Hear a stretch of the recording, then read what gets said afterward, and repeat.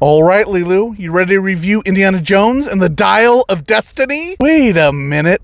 Are you wearing an Indiana Jones hat? Well, this is awkward. One of us will have to change. All right, we'll compromise. I will be cool, young Indiana Jones, and you can be old, grumpy Indy. I get a whip, and you can shake your paw at those hippie teenagers to turn down your loud music. Sound good? Oh, yeah, Lilu.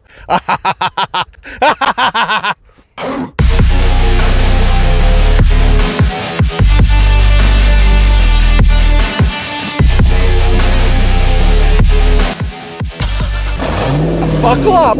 Let's talk Indiana Jones and the Dial of Density. I'm your density. Your destiny. I, I mean, Destiny. Let me start off by saying Indiana Jones is undoubtedly my favorite character in film. I grew up idolizing the original trilogy, which played a significant role in shaping the film loving nerd I am today. I mean, look at this adorable photo of me. It belongs in a museum. Oh, trust me, Lilu. I couldn't keep the ladies away. Don't you give me that look. I would like to have a moment of silence for this little nerd's love life. When Kingdom of the Crystal Skull was released, I was beyond excited. Almost as excited as Lilu in a new Indiana Jones hat. You love wearing hats, don't you, Lilu? Hmm. Something about that look tells me not so much. Lilu, bark twice if you need help. Hmm. I guess she's fine. I confess that I've been a Crystal Skull apologist over the years, as I didn't hate on it as much as most people did. Let's just say I have been in denial since that film's release. I mean, the monkey scene in that film wasn't that bad, was it?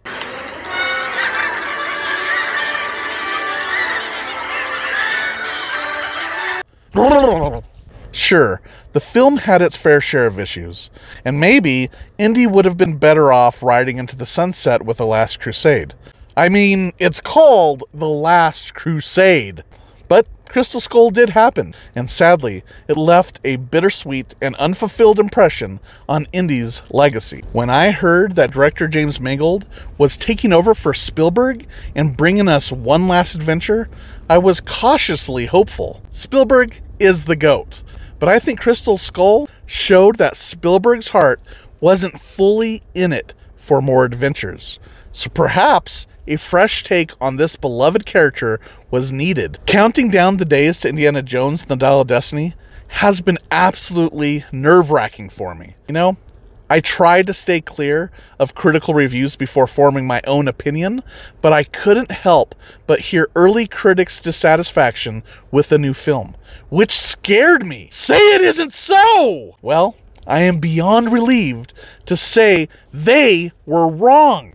They were wrong. My opinion is the only one that matters. Right, Lilu? Right? Right? Why aren't you saying anything? Your silence speaks volumes. Because I'm certainly never wrong.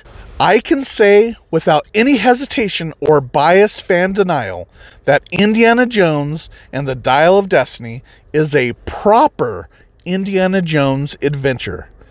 We are at a point where the inspiration for Indiana Jones film isn't the love of 30s pulp like Weird Tales that captivated Spielberg and George Lucas, but instead throwbacks to the Indiana Jones films themselves. And James Mangold and his crew have done their homework. It is apparent that Mangold loves this character and lovingly honors Indiana Jones with a fitting conclusion to his legacy. Gone is the horrible, bright, and washed out cinematography from Crystal Skull.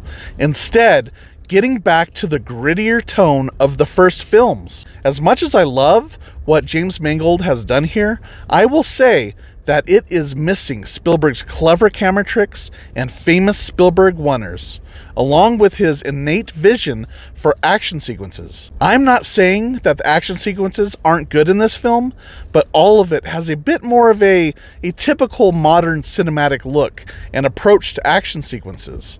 The Spielberg touch may be missing, but fear not, my fellow Indy enthusiasts. This film still feels very much like an Indiana Jones adventure. I will say, though, It's cool James Mangold does actually make more use of Indiana Jones's whip this time around. Whip it good!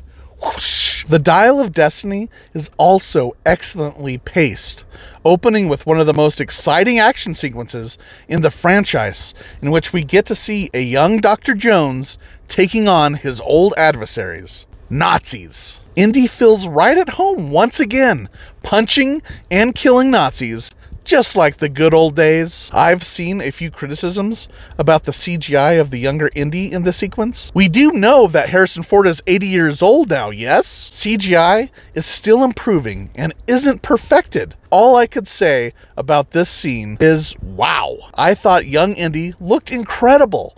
Sure, saw some issues here and there, but overall, I don't think I've seen this done better. It is amazing to me that I was watching young Indiana Jones come to life again. Between this and seeing Michael Keaton play Batman once more, has little me just flipping out. I'm losing my freaking nerd brain. Harrison Ford genuinely loves Indiana Jones and wanted a fitting farewell to this character that he has embodied for so long.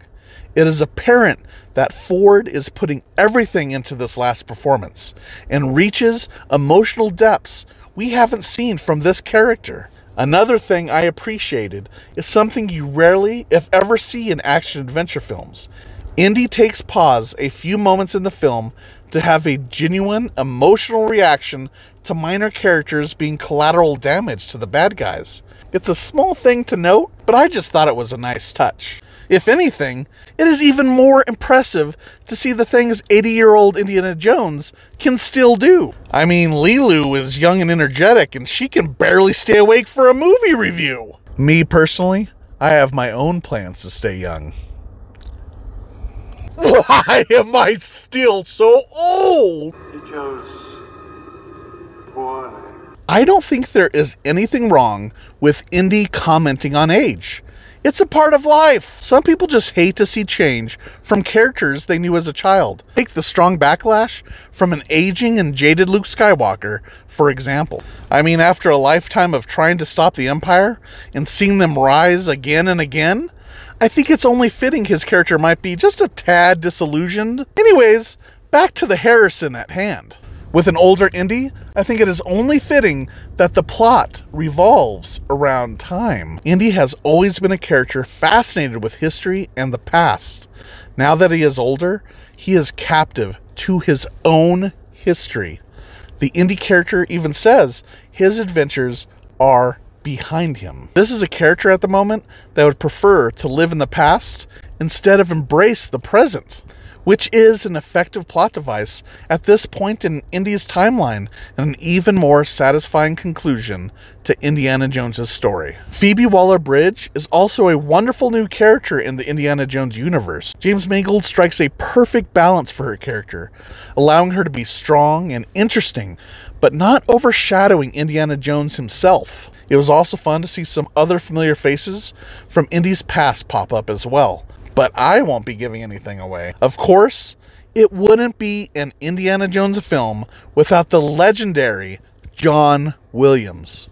His score immediately transports us into Indy's world, setting the emotional tone with his brilliant compositions. It's a testament to the power of his scores, evoking nostalgia and capturing the essence of this beloved franchise. Nothing can truly recapture the magic of experiencing these films as a child, as it is time itself that gives these films the nostalgia that seems untouchable today.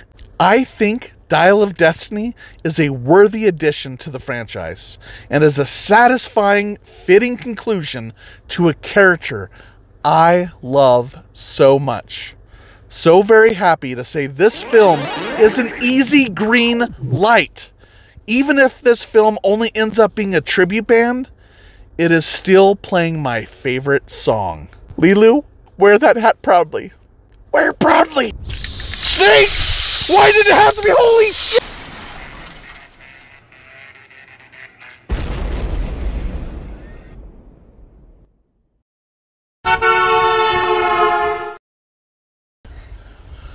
You're right, Leeloo. I am the old Indy.